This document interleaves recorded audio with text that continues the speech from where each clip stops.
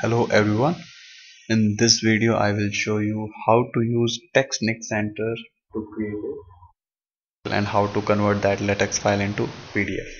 So first of all we will create a new file.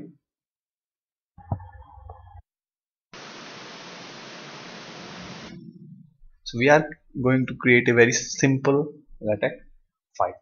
So in LaTeX all type typesetting actually start from backslash so document class we are going to take article.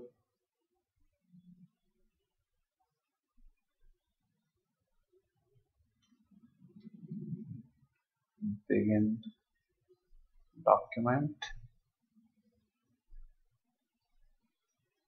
And here we are ending it.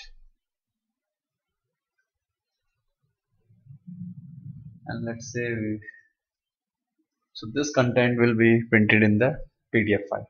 So here you can uh, specify what kind of files you need how you want to convert. You want to convert in DVI or PS or PDF so let's say we are going for PDF now we will save this file. Let's say I'm saving it on desktop. 1 save. Then you need to go to build current file build so here if you can see uh, it's showing some error.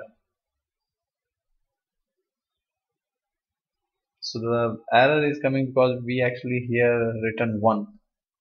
So we will remove it and then we again build it. So this time there is no error and uh, compilation was successful. So we want to see our PDF file so if you go to desktop and desktop you will find a PDF so this is the LaTeX generated PDF file. Thank you very much for watching